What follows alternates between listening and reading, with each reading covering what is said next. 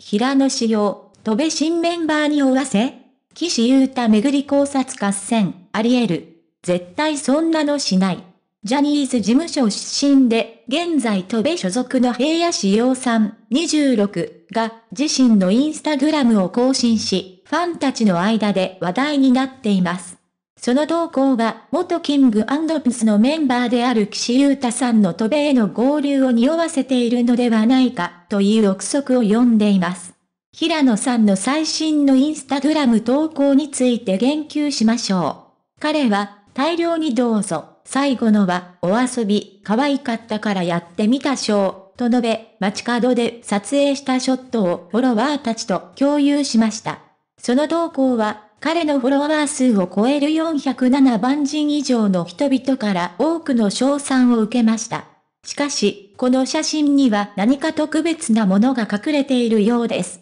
その1枚目の写真に添付された画像に注目が集まっています。写真に写る看板の横に平野さんが立っており、そこには行き止まり U ターンできませんという文字が書かれています。特に、岸優太が強調されているようにも見え、これが何らかのメッセージであるのではないかとファンたちの間で議論が巻き起こっています。この岸優太の文字が注目を浴びたのは、岸優太さんの名前に似ていることから、彼の渡米への合流を匂わせているのではないかという仮説が立てられたためです。岸優太さんは、ジャニーズ事務所を2023年9月いっぱいで退場し、その後渡米との契約が発表されています。これにより、ファンたちは平野さんのインスタグラム投稿が、岸優太さんの戸部での活動についての示唆であると考えたのです。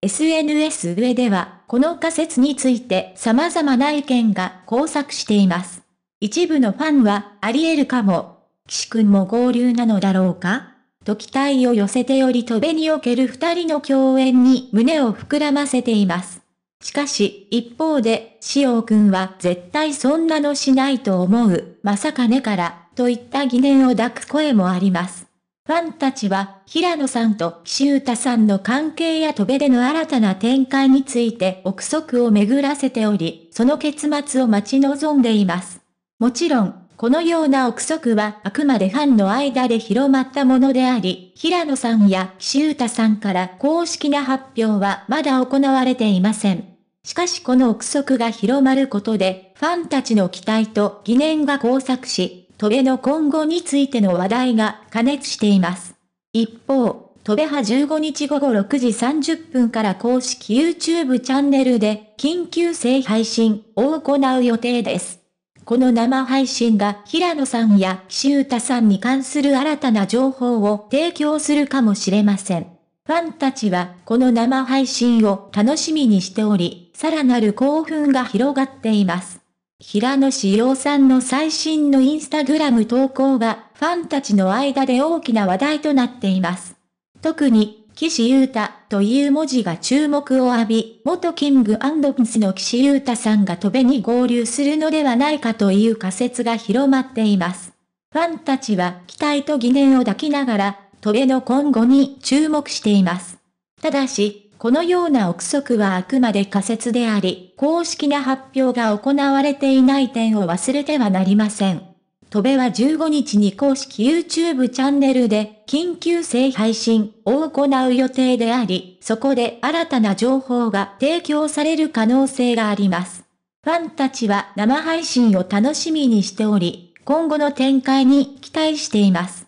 我々は平野志陽さんと岸優太さんの活動に引き続き注目し、公式な発表があれば速やかにお伝えする所存です。どちらのアーティストも多くのファンに愛されており、その活動に関心を寄せる人々が多いことは間違いありません。新たな情報が明らかになることで、ファンたちはさらなる興奮と期待を抱くことでしょう。